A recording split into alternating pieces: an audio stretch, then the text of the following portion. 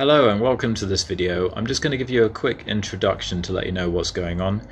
We're talking about modal theory and I usually just cover Indian classical music on this channel but from September I will be covering more kind of universal concepts about Western music theory and modes and scales and applying all of that to the guitar. So let me know if you're interested in seeing some more of that content, there's more coming up.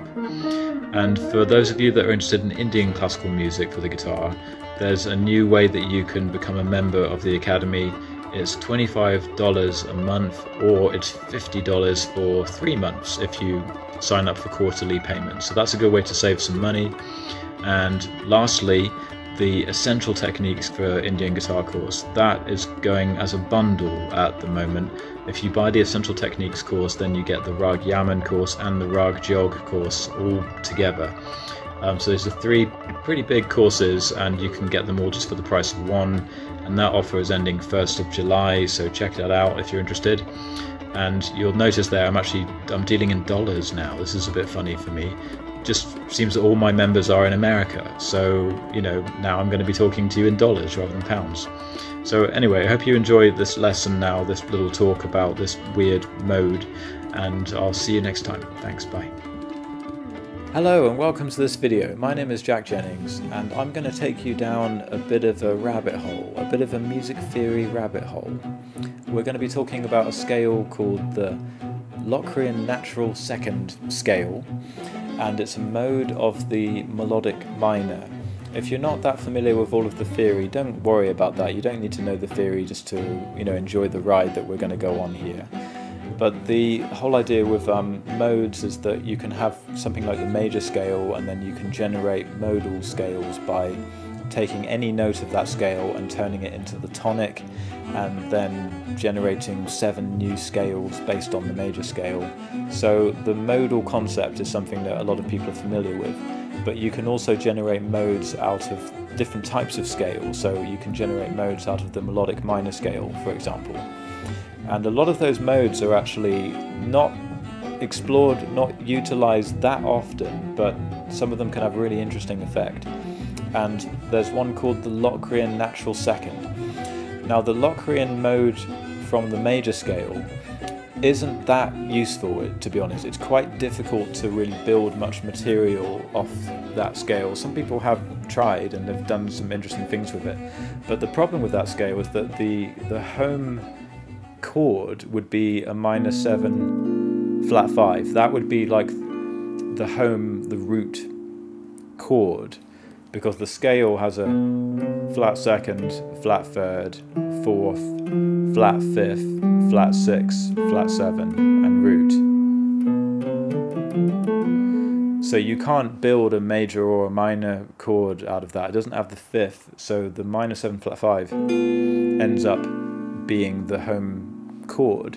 And the thing about that is that the gravity always makes your ear think that that you're going to move to a a C major 7 or a C major chord. It just kind of sounds inevitable that C is the is the home or maybe A minor. So the Locrian is, you know, it doesn't really get used much for a good reason, and it doesn't come up in um, Indian music or in Middle Eastern music. It doesn't really, it's not like a scale we can look at and say, oh, well, we don't use it much in the West, but it's really popular in India or really popular in Turkey. You know, it's not a scale which really gets used much.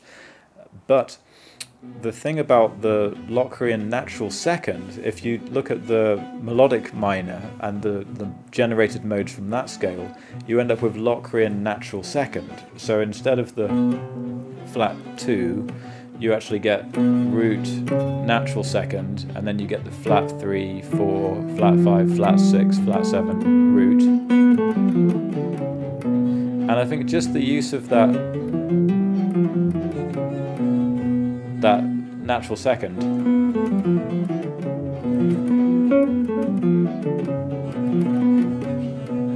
gives you more of a sense of resolution when you come back to the tonic and B in the note B in this case. So I'm playing B, Locrian natural second.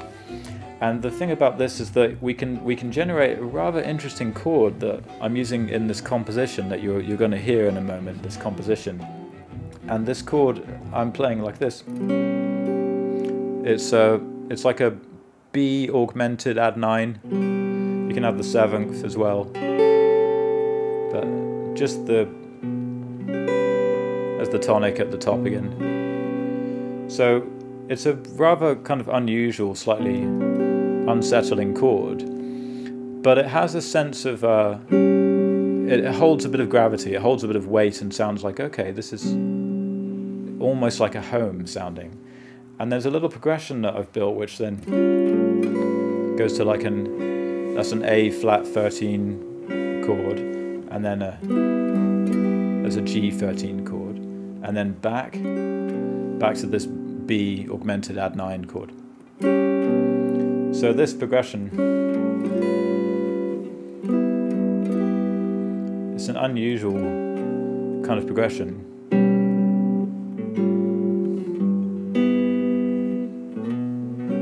But to me that has a sense of gravity to it.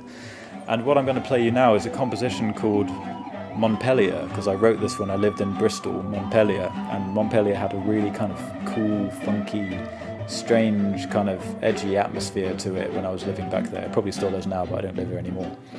So I have this little composition here. I'm doing a solo over this, using this scale, and only the notes of this scale, and then you'll hear a violin solo afterwards as well. Stick around for the end, this amazing violin solo by Omar Puente. So see you next time. Thanks for watching. Bye.